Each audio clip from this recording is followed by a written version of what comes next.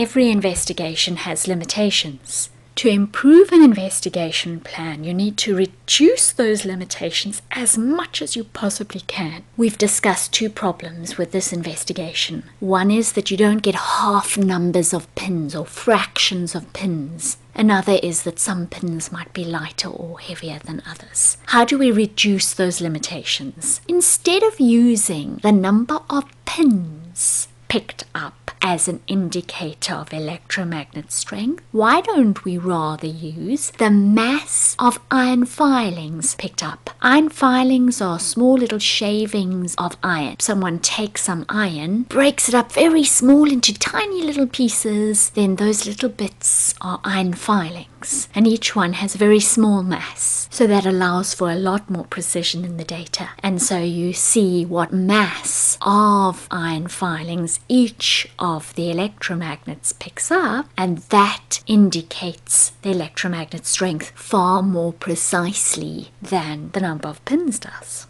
How do we reduce the limitations of this investigation? This investigation asks how does amount of wind affect evaporation rate? We've already discussed a number of problems with this. There might be other sources of wind. Well, we must just try our best to ensure that there aren't. Maybe put a towel at the bottom of the door so that wind doesn't blow in from there. We also said that maybe some parts of the room are warmer than others. Make sure you don't have other heat sources. Obviously, if you've got a heater, you better switch it off and then wait until the air cools down. Don't use a kettle in one part of the room. Then the problem that the fan might blow over some of them, especially the petri dishes closest to the fan. Maybe we might put all the petri dishes on little stands at the same height as the fan's wind so that that doesn't allow wind to just blow over some and not over others. Then we have this problem that the indicator, distance from fan, doesn't have a direct mathematical correspondence to amount of wind because if you double the